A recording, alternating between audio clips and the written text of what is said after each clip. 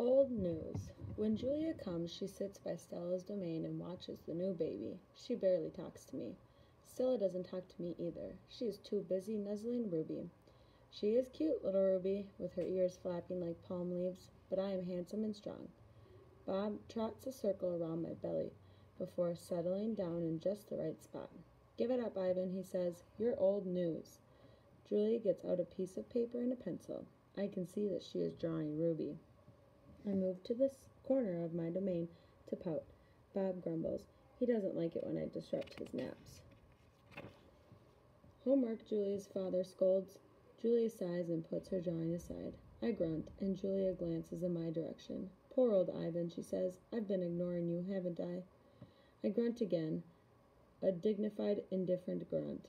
Julia thinks for a moment, then smiles. She walks over to my domain, to the spot in the corner where the glass is broken. She slides paper through. She rolls a pencil across my cement floor. You can draw the baby elephant too, Julia says. I bite the pencil in half with my magnificent teeth. Then I eat some paper. Tricks. Even after Julia and her father leave, I try to keep sulking, but, no, but it is no use.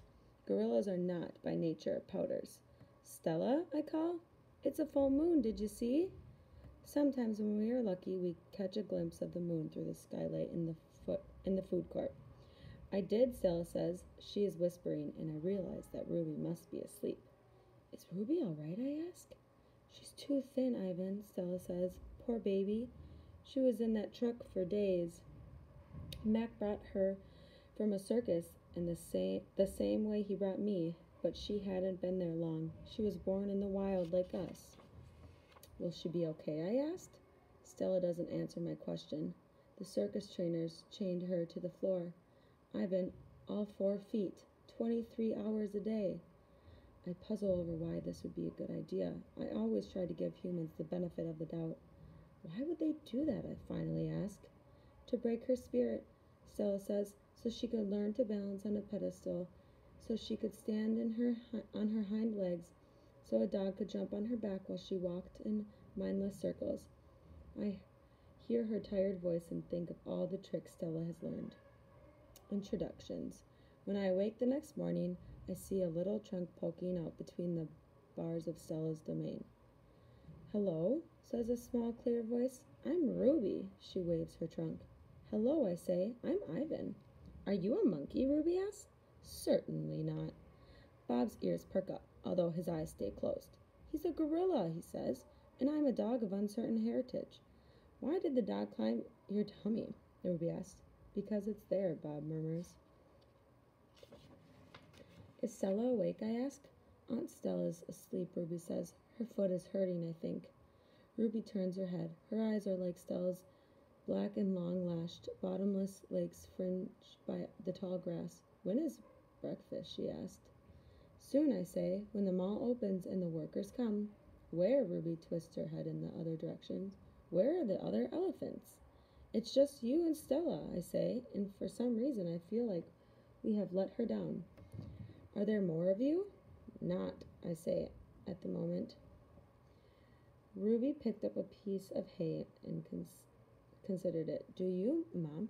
Do you have a mom and a dad? Well, I used to. Everyone has parents, Bob exclaimed, explained. It's unavoidable.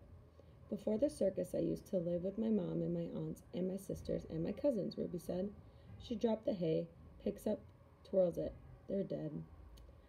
I don't know what to say. I'm not really enjoying this conversation, but I can see that Ruby isn't done talking. To be polite, I say, I'm sorry to hear that, Ruby. Humans killed them, she said. Who else? Bob asked. And we all fall silent. Stella and Ruby. All morning, Stella strokes Ruby, pats her, smells her. They flap their ears, they rumble and roar, they sway as if they're dancing. Ruby clings to Stella's tail. She sleeps under Stella's belly. Sometimes they just lean into each other, their trunks twirled together like jungle vines. Stella looks so happy. It's more fun to watch than any nature show I've ever seen on TV. Home of the one and only Ivan. George and Mac are out by the highway. I can see them through one of the windows.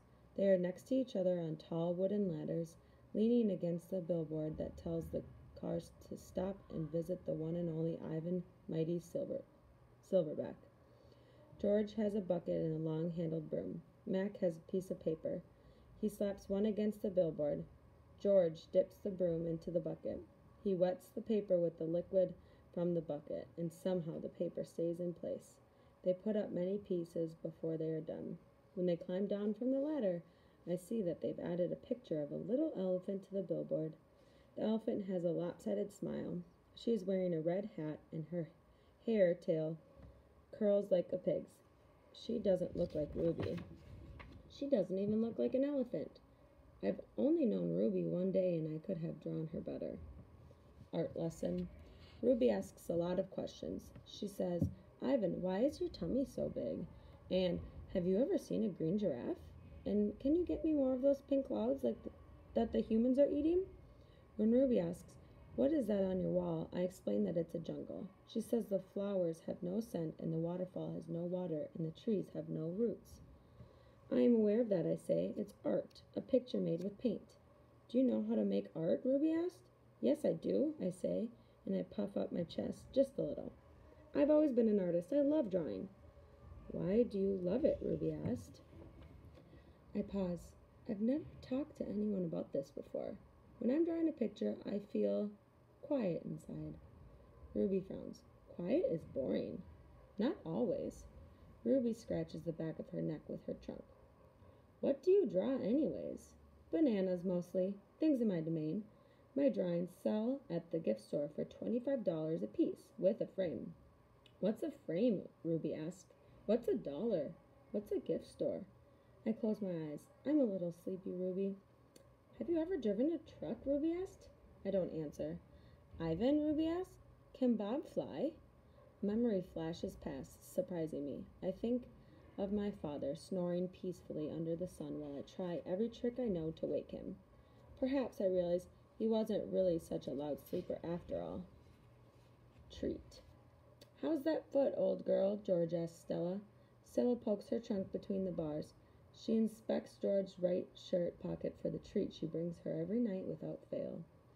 George doesn't always bring me treats, Stella's. Stella's his favorite, but I don't mind. She's my favorite, too. Stella sees that George's pocket is empty. She gives George a frustrated nudge with her trunk, and Julia giggles. Stella moves to George's left pocket and discovers a carrot. Nimbly, she removes it. Mac walks past. Toilet's plugged up in the men's bathroom, he says. Big mess. I'll take care of it, George sighs. Mac turns to leave. Um, before you go, Mac, George says, you might want to take a look at Stella's foot. I think it's infected again. Darn thing never does heal up right, Mac rubs his eyes. I'll keep an eye on it. Money's tight, though. Can't be calling the vet every time she sneezes. George strokes Stella's trunk. She inspects his pocket one more time, just in case. Sorry, girl, George says as he watches Mac walk away.